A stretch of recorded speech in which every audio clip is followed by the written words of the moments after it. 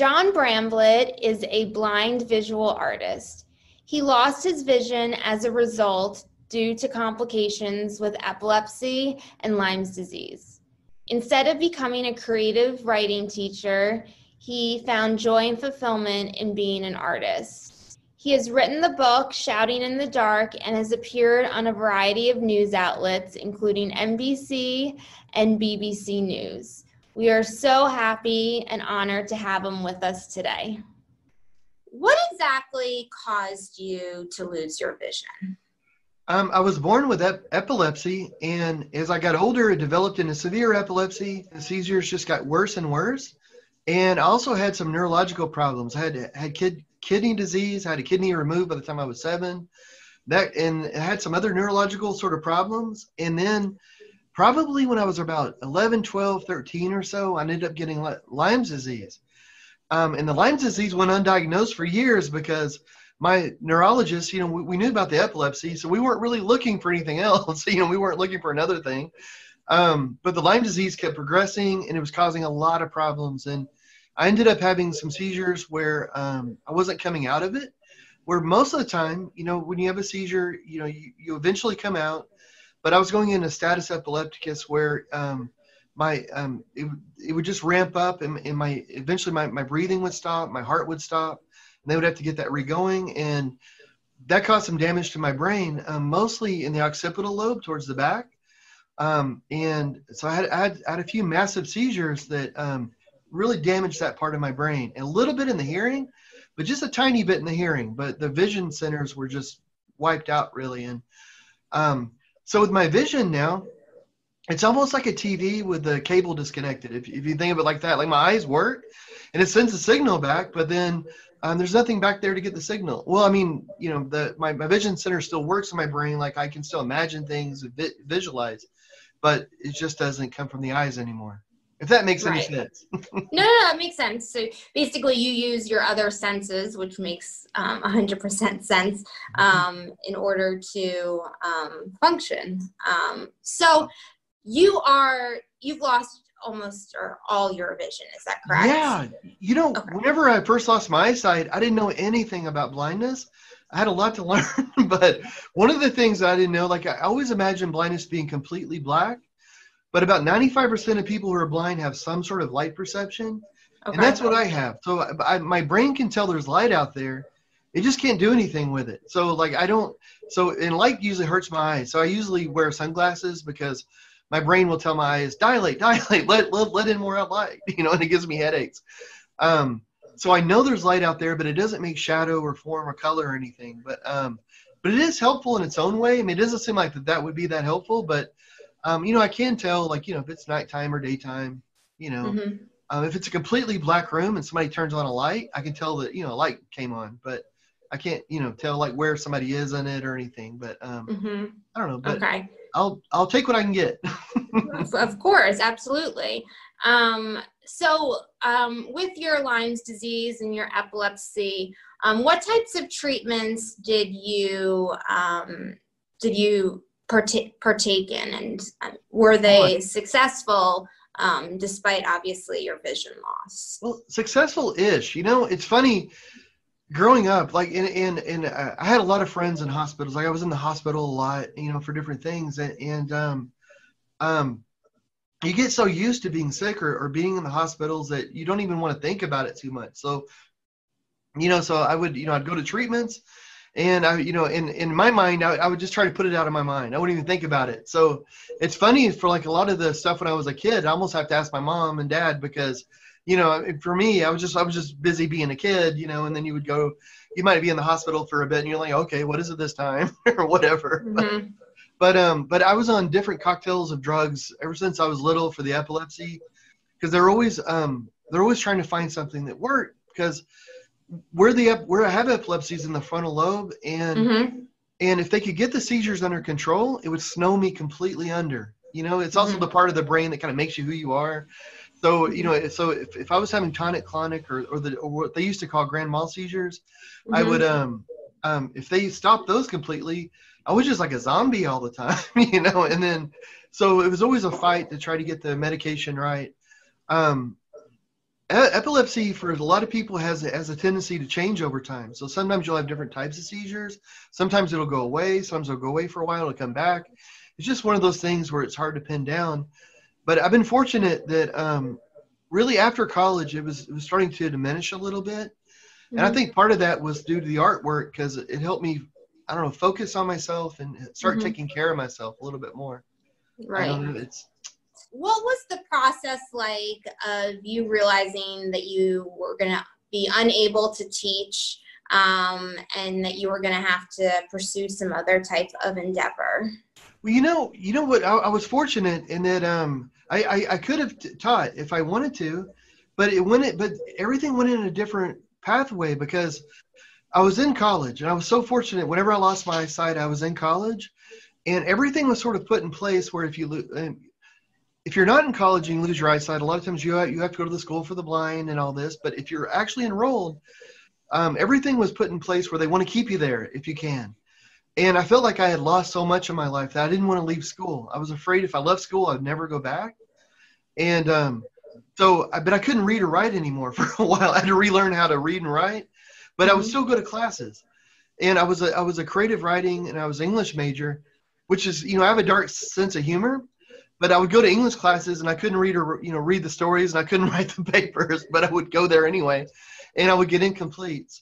But I was I was learning how to use Braille and I was learning how to use the screen readers, for, you know, the computers and all that, the modern technology we have.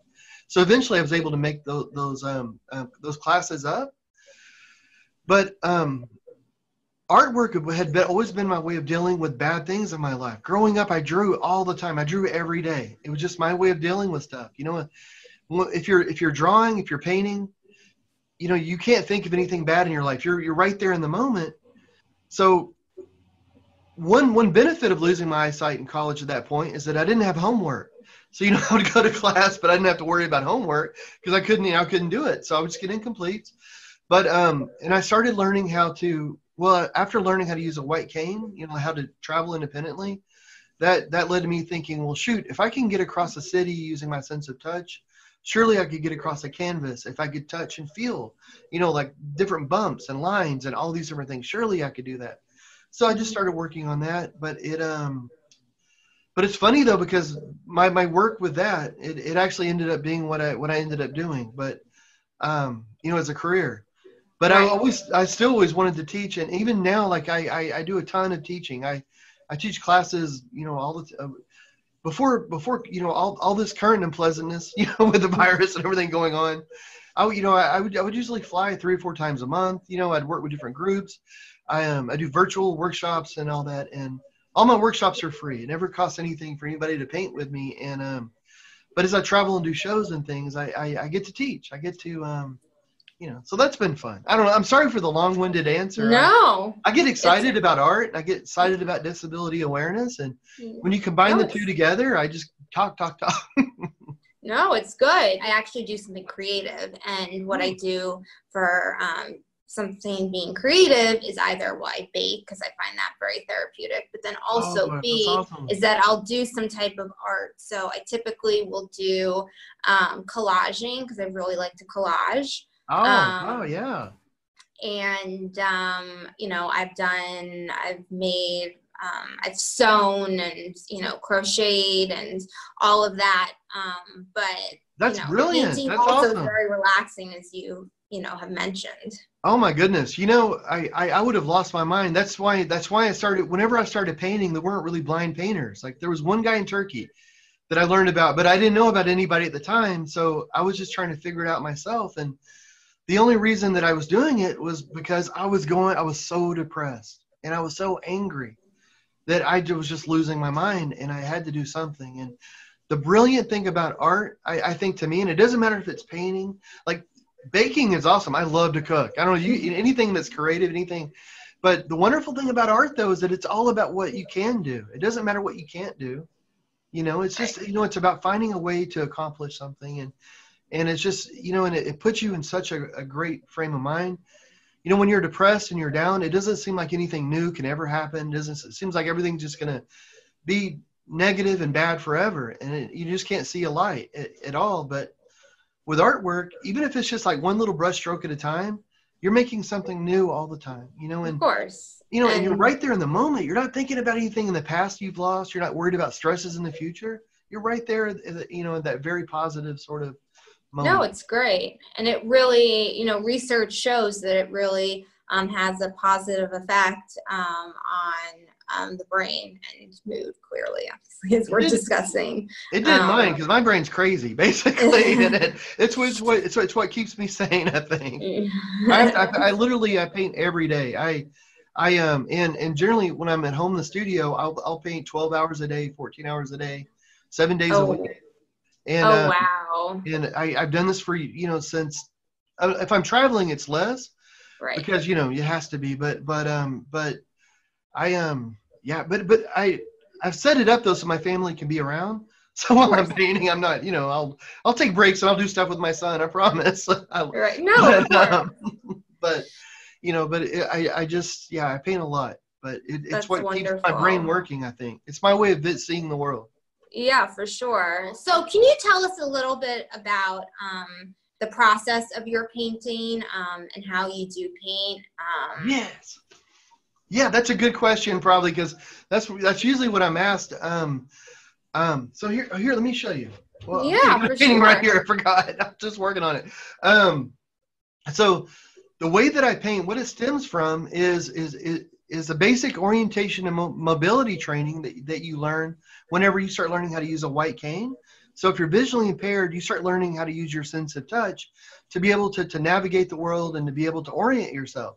So whether you're getting around a room and you're touching the walls, you're trailing walls, you're you're touching furniture and you're making a mental map, um, or if you're crossing the city, you know, and you're using that white cane, which is basically just an extension of your hand. So you're reaching out and you're able to touch, and there's different techniques to be able to to to get around but but you're feeling different things around. So like if you're traveling down a sidewalk, you would be feeling the curb, you know, and you're feeling the sidewalk and the curb, and you're going down that straight line. And then if you hit another street that's crossing it, you would know exactly where in the city you are. You know, it's right where those two streets cross. You can't be anywhere else in the city. So suddenly you're oriented. You know where you are. it's easy peasy. Well, I, I started thinking, well, good grief, if I could get across the city, um, I could get across a canvas. So the way that I do that is by drawing with lines that I can touch and feel. So when I first started, all the lines had to be giant, like really, really thick. But over the years, it's been almost 20 years since I started, um, they, they can be a lot thinner. They just have to feel different. So on this painting I have here, um, there's a bunch of trees. So um, so there's actually, I can feel the lines that are, that are making the trees. Um, and this lets me know where I am and where I've been. And if you're a sighted artist, that's really all you use your eyesight for is to know where you are and everywhere you've been. If you're a visually impaired person, you're going to use your sense of touch for that. So you use your sense of touch to do that everywhere you are. So it just makes mm-hmm. sense. But oh, let me, let me, yeah. let me get a cube of paint real quick. okay. I'd love to see. Yes. Oh, oh, so um, the other thing you use your eyes for, of course, is is is color. So I have I have a tube of paint here, and I just braille my paint. So this is a light green. So I just braille uh, the letters. Oh, right, your brow. Yeah. So, but what's more fun though? What what I do? So I can braille the tubes so I know which which tube is which. But whenever it comes to start mixing the paints on the palette, I add different mediums into the paint, and um, and that just makes the paint feel different. So what paint is, you know, with paint you have a medium, which is really just the sticky stuff that holds paint together, and then paint's also colors. So you have pigment and the medium, and you put those together, and you've got paint. So what I do is I change the mediums. So I can mix a medium into the paint that'll make it really, really thick. Like there's some that'll make it like where it's almost like putty, and others where it feels like oil, or and another that makes it feel like water. So if I took a, um, well, I've lost my paint again. Well, if I, if I took a really thick medium and mix it into the white, I can make that white feel like toothpaste. It would be really thick. Um, I can mix a different medium into the black and make the black feel oily, so it's really runny mm-hmm. and oily. So on a palette, I have this really thick paint and the really thin paint. There's no way I'm going to confuse the two. You know, I know if I'm t- touching the thick paint, it's got to be white. Then if I want to mix um, the colors together, if I want a gray that's halfway between that black and white, I just mix for the texture that's halfway between the two. You know, that's half as thick or twice as runny or, you know, whichever way I'm going with it. And, um, it, and it gives you a way to be able to control color and I know it sounds, you know, to most people it sounds a little hard, um, but here's here's the weird fact. Um, I, I, work with museums all over the country. My, my, my artwork has gone to 120 countries. We travel, um, and I, am a cultural ambassador for the United States now, and they send me send me around, and I'm able to teach workshops. I have blindfolded tens of thousands of people, and I'll, I'll blindfold them, and I'll give them a drawing that I've made that has erased lines, and and I'll give them paint that I've mixed, and in five or ten minutes, everybody's painting, and it's just wow. it's sort of a cartoonish sort of painting. You know, it's not like you know, it's not like you know, um, like Van Gogh or something right, mm-hmm. away. But but everybody can tell what which color is which. They know where they are on the drawing. It's just I don't know. It just it just makes me feel so good when when I'm doing that. And and it's funny because um, before we'll, we'll start start a workshop like that, people will say like I just have no idea how you could paint without being able to see. And then five or ten minutes into the workshop, it's it's almost almost every time. It's so funny. They're like, oh, I get it. I understand. You know, mm-hmm. it's hard, like you know, I see, but so is any drawing, any paint. But it's it's just different. Right. So sorry for the rambling explanation. No, no, it's it totally makes sense, and it's it's absolutely amazing. So for people that um, want to get into art who are blind, did are there programs nowadays? Um, I know you speak about how you hold some virtual classes. Mm-hmm. Are there programs or um, classes to teach people um, who are blind how to do art um, if they don't That's you know, happen question. to think about you know the sense of feel and um, touch and so forth you know um, there there isn't uh, unfortunately there's not a whole lot out there but that's changing. Um, I, I, work with blind, blind services with seven different states. Okay. Um, you, you, know, and, and, I mentioned like being the cultural ambassador, so they're sending me out. So I've been working with Brazil, and we're helping the children there that are visually impaired. Um, but it's starting to become a thing in some schools for the blind where they're starting to, to teach these techniques and they're starting but here's the brilliant thing though and this is so i wish i could say that i envisioned it like you know that i, I knew this would happen but um, I didn't. It was just a happy accident with it. But um, children, most any any child with a visual impairment that I've met, they hate the cane. They hate using a white cane because at first you're bumping into things. It's hard to use. You, it's easier just to grab somebody's elbow and have somebody guide you around. But once you learn how to use it, you're independent. You can go wherever you want. But um, so so kids hate the cane. But the way that I paint is basically those cane techniques. So we'll teach these kids how to paint, and then they accidentally sort of learn how to use the cane, you know, because the, the more they paint, the better they are. But in a few weeks of these kids learning how to paint, their ability to get around a room just explodes. It's just crazy. They're so much more independent. They're able to to cross a room like. I've had so many teachers come over and tell me that, oh, but you know, oh, before you started the art classes, all the kids would, would stay in their desk. Nobody would ever get up. You know, it was it was so everything was mm-hmm. very structured. Then after them doing art for a few weeks, suddenly they're getting up and they're talking to their friend on the other side of the classroom or they're getting their own paper or they're doing this and she said it's awesome but it's so chaotic i'm not used to the kids running all over the place but right it's um it just makes a huge difference but um but there isn't a whole lot of places to go and get that and um i um i live stream twice a week on facebook and you, you, youtube and and we have lots of people that come through that want you know that um, there's some places where they have programs, but most places just don't. And um, so, right. Um, so I, I, I, gosh, one of the main things we, our my our emails here in the studio are almost never below a thousand because we're always getting people asking, "How do you paint? Where do you go? Where do you do mm-hmm. this?" And it's so sad because most time we're like, "Well, you know, here's what I do," you know, but there's not really a, a teacher that you can go to, or and um, so I try to encourage people like, "Well, tune in on the live streams and stuff because we'll chat about anything. you know, if you want to know, like you mm-hmm. you paint along with me. You know, we'll we'll we'll do it. We'll figure it out. You know, and um, but right. it's just I don't know. I, I, I wish I wish I had a better answer right now, but um. No, um, it's it's, it's gonna it's be better enough. And actually, yeah, no, it's good enough. I mean, unfortunately, there aren't a lot of um uh, aside from the stuff that you do, um, a lot of programs um, out there to teach uh, people of the blind art and so forth. But for people who are watching, um, clearly interested in becoming an artist or have a ch- or has a child or spouse or partner, whatever the case may be, um, interested in art, Um, how do they um, find you?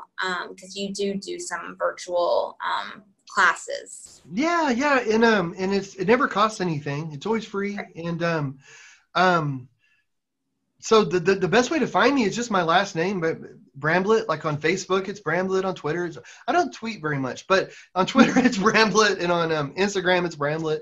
YouTube it's Bramblitt, and and if you forget my name, if you type in blind painter like on Google or somewhere, I'll I'll pop up. And um, um, and then and my website is Bramblitt. It's bramblitt.com. It, everything is Bramblitt. That way it's easy for me. I don't I don't forget it. it's easy for me to get around. of course. And yeah, I'm just asking for for them for our audience to know. I mean, clearly I know how to find you. Oh, um, but yeah, then yeah. that's how they contact you. And thank um, you for asking that. I, I, I appreciate that. And um, yeah, and I really encourage people because um, it, it depends on where you are. Like there, there's some places where there's a lot of there's a lot of help, mm-hmm. um, and then there's other places there's zero help, and, and especially a lot of people who lose their eyesight are older, you know, mm-hmm. and um, and it seems like you get past a certain age and there's even less help out there, you know, like maybe you know you know people say, oh well, you're getting older, I guess that's it, you know, you're not you're not gonna be able to do what you used to be able to do, which right. is just a complete lie. That's just that's not even it's not even a little bit true. Mm-hmm. Um, and no, and, of uh, course. Uh, there's you. It's it's not easy. Adapting to being visually impaired was extremely hard, but once I adapted, I don't even think about it anymore, and I'm happier now than I've ever been in my life, sighted or not. I mean, losing my eyesight didn't make me happier, but it's just not a factor in my life that's you know that makes me sad or anything. It's just you know, it's just you know I've I have a certain height, I have a certain weight, that weight should be lower, but I have a certain weight, and I happen to be blind, you know. So um, it's just one of those things. I don't know. It's funny, but at the time, it, it can just seem like it's a life-ending sort of thing.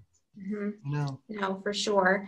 Um, so talking about your blindness specifically, um, I know you mentioned um, that, I mean, you wear sunglasses um, and you also have a seeing eye dog. Um, but can you tell us how you um, navigate the world um, on a day to day basis? Yes. And um, I, I, use my seeing eye dog. And, and I, and, I, have to say, the seeing eye dogs now that we have are different than the ones we had in the past. Mm-hmm. Like the ones now are made, like they, they work with smartphones If you have a smart dog and a smartphone, you can literally do anything. It's wow. Like like, like my, my guide dog over here, I hear her snoring. Um, she her name is Eagle, and like we we travel. We well right right now we're not, but in normal times we travel a lot, and I, I give a lot of talks. I give a lot of speeches. So a lot of times it's just a turnaround trip. So my wife doesn't go, and um, I, I just go. Me me me and Eagle will hop on a plane and we'll we'll go and I can do that because of the incredible dog, you know, that she is. So if I'm in an airport that I've never been in and I want to find the men's room, I can just ask her, say, Eagle, find the boys. And she knows the difference between a men's room and a ladies' bathroom. Um, she knows the difference between a stall, a urinal. She, she knows she can find the sink, a trash can. She'll remember what seat I was sitting in. So she'll take me all the way back to the gate and, and take me right back to the exact same seat. Even if there's somebody sitting in that seat now, because you know, she she is a dog, so she doesn't realize. So there's somebody sitting in the seat that I had been sitting in. Um, she'll still take me right there and put her nose right in the middle of that person. You know, you know, like, oh, that's John's seat. but so I've made some right. quick friends in the airport. but um, it's just incredible though. And like, you know, so and once I'm in a hotel, she'll remember which room I'm in. She'll find the counter for me. Um, and if I want to get a cup of coffee or something, I can get on my phone and ask my phone if there's a coffee shop within what walking distance and if there is, it'll you know it'll give me you know the app will give me directions and and I'll feed those directions to Eagle. You know, like Eagle, go forward, Eagle, find left, and it's um incredible. In but I, am always trying to push it a little bit. Like um, I, a few years ago, I became the first visually impaired person to ever do a mural, and I've been doing some enormous murals. I'm I'm, I'm out working on one right now that's 27 feet by 10 feet, and I've done some four-story murals. I painted 737 and I did all this because I'm always working with children, and I'm always telling the kids like, you can do whatever you want, you can do anything, and um, and so I keep trying to push things a little bit, and um, because I have to do it through touch. So I thought, well, what would be the hardest thing to do through touch? And I thought, well, maybe something big enough where you can't touch the whole thing at one time. And but using the techniques that I've learned by for using a white cane and, and my incredible guide dog eagle, you know, it's just I don't know, it's powerful. But the really cool thing is that it doesn't really cost anything. it's just knowledge. So if you can learn how to, I mean, like what I do isn't special. There isn't anything that's unique to me about it. I've taught hundreds and hundreds of visually impaired people how to paint. There, it's it's just if you know the basic idea of how to use a white cane, you can get across a canvas, you know, for sure. Mm-hmm. It's just, you know, and I love that because it's not like, oh, you've got to buy this really expensive equipment or you need this special thing or this thing. It's just, you know, it's just a little bit of, of instruction. Yeah, no, for sure. Um, now, just getting back to um, Eagle and yours and um, him being a seeing eye dog. For those that um, are unfamiliar with um, getting a seeing eye dog and so forth, did you go through? You went through an organization, right? Um, right, yeah. And, and did you pick out the dog prior and then he went to training or kind of how does that process work um, what organizations are there that's that's a really good question because the guide dogs are a little bit different than the other service dogs mm-hmm. um, because they, they've they've been around for so many de- decades, but, and their training is by far the longest because you know they they they have your life in your hands, you know. So every time you step out, you know it's uh, so they have to be perfect and and they have to really want to do it. And they have to, like in the guide dogs, like they aren't spanked or anything. You know, either they want to work or they don't. And if they don't, that's fine. You don't have to be a guide dog you can go be a fan, you know, a pet dog or something. But it's just the dogs that really want to stop at every curve and really want to do it. But they're they're bred for it. So like like Eagle, she comes from a breeding program that's like decades old, and they and they and so if any dog in the litter has like any um, health problems, every dog that's related to it is washed out of the program. If if any dog was aggressive, which is unknown really with a guide dog, because any dog that's even a little aggressive, every dog that dog is related to is washed out of the program. So after decades of this, you end up with these crazy, sweet, hyper intelligent dogs that you can just talk to. You know, it's like, what? hey, baby, why don't you come over here? You want to lay down over here? And she's like, ah, you know, just like just listens to your every word. It's ridiculous. But even past that, though, um, only about 50 to 70 percent of the dogs make it through training, and the training is two years long. Um, in the first year, it's just like being a puppy, learning puppy things, learning how to sit and all these kind of things. then the next year, it's more intensive sort of guide dog training, which I got to say, I, have been on the board of directors for the guide dog school, and the dogs love it. Like the dogs just eat it up to them. It's just like 24 7 plays time, you know, because they love to do things and they love to show you how smart they are. And so it's just, I don't know, it's just the happiest dogs I've ever seen. And then, um, but the dogs are always, always trained with about five dogs at a time because so every trainer has about five dogs and they everything they do is so smart i swear the guide dog schools are so smart but they do that so that whenever you get paired with your dog so whenever the guide dog school they, they, they give you a personality test they know the personalities of the dogs they know what kind of tra- traveling you're going to be doing and all this and so they match you with a dog that's just perfect for you and then whenever they they do that that's the first time that dog's ever really lived one-on-one with someone so mm-hmm. you just get this super super crazy bond and like like my guide dog, my guide dog Eagle is more like a shadow. Like she is always there, constantly always there. I mean, if I go to the bathroom, she's waiting outside the door. You know, like where you been? What's going on? And it's just ridiculous. But um, it but you know, but it's just awesome. And um, but that means that a guide dog isn't for everybody though, because mm-hmm. I love dogs. I, I was raised around dogs, so having a dog around was isn't an extra thing but you do have to walk them, even if it's snowing outside, even if it's you know raining outside, um, even if it's Christmas. you know, you, the, the, their needs come first. I, I feed I feed um I feed my guide dog before I I drink or eat anything in the morning. You know, it's the first thing that I do.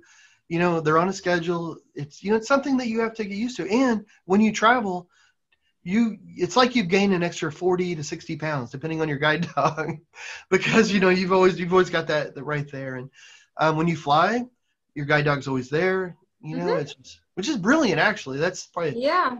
Um, and and you know, and flying is actually so much easier with a guide dog to tell it to tell of you the course. truth. And, the flight attendants seem to really love it. You know, I, I, guess I guess it gets boring flying the same route all the time. Mm-hmm. So you get like a cute little dog you can pet in the middle or something. They're like, oh.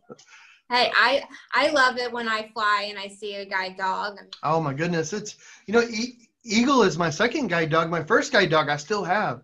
She's she's retired. She's 14 years old, and she um and she she's always asleep. Actually, she's definitely snoring. But but um, but but she went on so many flights that she, she she's actually in the Animal Hall of Fame for for for service dogs because she just went on so many flights. We we visited so many children, and I've had Right. Eagle for about three years, and Oh, Yeah, I'm that's awesome. we're Tell us a little- bit about this software Oh. um, that helps with, you know, seeing certain things or Mhm. just visualizing them. And then also, can you um, talk a little bit about um, uh, why you wear sunglasses? Absolutely. Well, um, the the software, which it's I, I'm a huge nerd, uh, so it works well with me. But um, in my studio, I have a massive three, 3D printer in the other in the other office, the other room, um, and it's just huge. But so so I can print out statues, I can print out human heads if I want to be able to touch and see what it looks like. But um, but now though, like with the software is, is we've had this since the 70s where you could print out a picture like on a brailler but it's always been sort of like a Minecraft kind of picture where it's very blocky. But now, though, um, with touchscreen devices, there's software that that will um, that you, you can actually touch it and it'll turn it into a tactile sort of feel. So, so so you can actually it'll vibrate and it'll make different sounds for you know if it's a a thick line it'll it'll vibrate really slow and it'll it'll make a lower tone and so so you're able to actually touch it and and, and understand. So you're not seeing it, but you're able to understand the composition and and it's just incredible and it's always getting so much better. And so i use that and you know so any of the technology i'm, I'm always beta testing apps too. So i'm always doing there's there's cameras and different things where you can put it up and it'll describe it it'll tell you colors shapes it'll start doing all this really cool stuff. Oh the the sunglasses. Yeah um um i, I usually wear sunglasses even at night. Um um, I'm like the Corey Hart song from the '80s, where I wear my sunglasses at night. But it's because my um, um, I I have light perception. My brain doesn't know what to do with the light. So it'll make my eyes dilate, like it'll make my pupils di- dilate and constrict and get big and, and do all kinds of stuff when there's light coming in. And it just makes my eyes turn really, really red and I get headaches. Um, so, um, so I usually wear sunglasses. And in my studio, like I have all the lights on right now, but, um, but if I'm in here painting, I'll usually just have these little lights going, you know, so it's really dim. It's bright enough for the guide dogs to get in and out without without them bumping into something but but um you know but it, it just it's more it's better. It just it feels better with them on. And that's why like you'll see some people with a visual impairment that wear sunglasses and some that don't. Some have um, have light perception that hurts their eyes. Some have light perception and it doesn't hurt their eyes. Mm-hmm. um, and some don't have light perception at all. So you know it's just a it's a big mix. Right, of course. Um, now, what advice would you give to um, others that are blind to have um, other types of um, uh, visual impairments? Um, it could be for, it could be for um, kids, it could be for adults, um, parents. I mean, even from a person that's blind to a professional. Oh, oh my goodness. Um,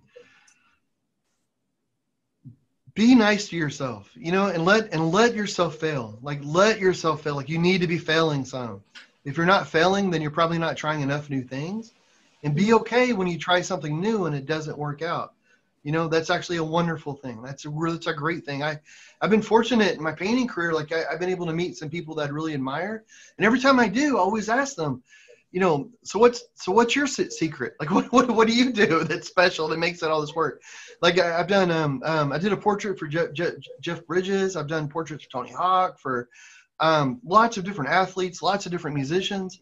And if there's somebody that thing like, oh, I just love what you do, and it, it's so crazy how many times it comes back and they say, oh, you got to fail.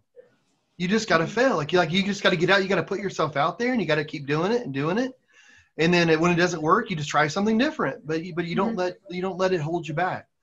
And I, I just couldn't believe it. That from all these people that i really admired that that you know were at the top of their you know what, whatever it is they were doing had the same bit of advice. And i know that when i first started learning how to paint i don't i don't know where i got this idea but i'm not usually that smart but i had a really smart idea. And it was that i wasn't going to judge anything that i did for a year so I was going to learn, I was going to relearn how to draw, try to learn how to paint. But it didn't matter if it was working, didn't matter if it wasn't working. Just as long as I was trying, just as long as I was Mhm. giving it a try, I could fail all day long for 365 days. I could fail, fail, fail, fail, fail, fail. And oh my goodness, what a habit it is to judge yourself and to be so hard on yourself. I think I would have quit the first day three or four times because, you know, because I, I make something wrong. I think there's no way I'm going to be able to do this. There's no way this is going to work. And then I have to remember, like, oh yeah, I'm not allowed to think that. It doesn't matter if it works or not.